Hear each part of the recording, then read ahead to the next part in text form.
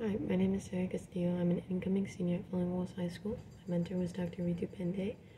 Um, her lab's main focus is cancer bioinformatics, and her lab's main question was, or is, what makes KRAS 13 different from KRAS 12?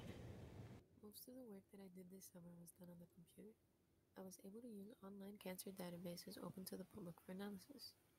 It's important to know that Dr. Ritu Pandey's main question is important because those who deal with KRAS 13D mutations have a more aggressive type of cancer. Some personal questions that I've been left with at the end of this summer have been Is there any way to control the mutations that happen in our body? And why don't position 36 and position 39 within the KRAS gene in exon 2 mutate?